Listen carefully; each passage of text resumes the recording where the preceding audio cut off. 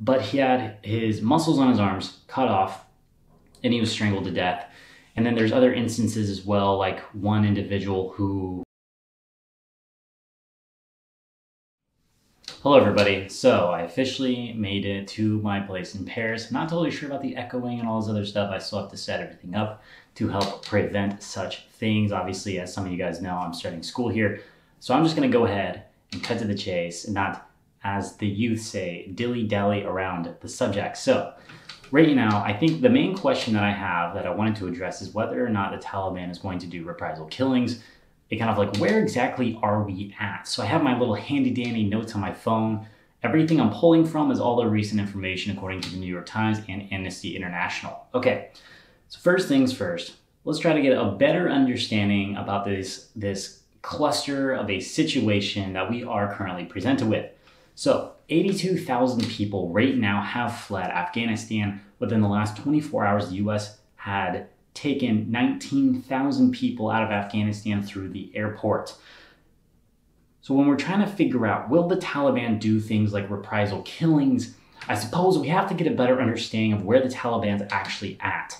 So we know at least a month ago, back in July, there are situations like in a place called the Ghazni province where the Taliban, I think it was around July 3rd or 4th, so it's a little dated, but I think it gives us a better understanding of their kind of their mindset at the time. The Taliban had killed nine people, had tortured three, including one individual who was choked with his own scarf, and he had his muscles, it didn't specify which muscles, if for some of you kind of sickos out there wondering specifically what they had done to this person, but he had his muscles on his arms cut off and he was strangled to death.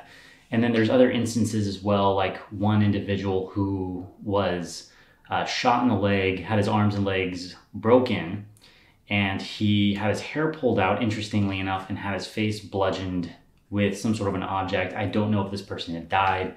And then there was another situation where a woman was killed because she didn't have a headscarf. So now we have to understand now that these types of people are in power, are they going to be able to change their methods to something a little less violent and personal.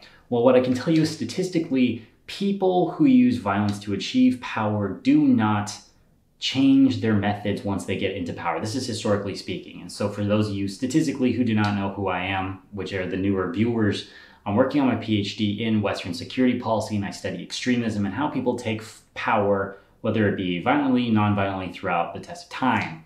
So, statistically, most people don't change their course once they actually get into power because it's kind of obvious. They're like, oh, well, now that I've used, say, violence to bludgeon old people to death, why would I change my tune? I'm already going to hell, kind of deal.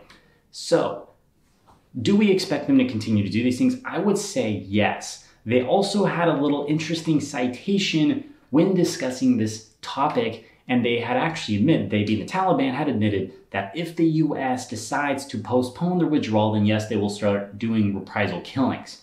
I mean, let's be honest, do I think that they're going to do it anyway? Statistically speaking, yes, they will. Now, a lot of times people in academics don't like to give like very specific answers. So, like, well, maybe based off of what this person said or what this person said. I'm here to say I believe concretely, yes, they will in fact do reprisal killings. Whether or not we will find out about it, it'll probably be kind of like hit or miss here and there. And I think that we'll more than likely blame it on some sort of an individual if it becomes public, like, oh, this person was trying to be a bad bitch after they were feeling themselves once upon a time decided to do this, and we have nothing to do with this type of reprisal killing. However, I can tell you if that does happen, that's more than likely going to be bullshit. They probably plan that. Historically speaking, that's the case. But anyway, thought I'd do a little tidbit for the day Hopefully you guys got something out of that.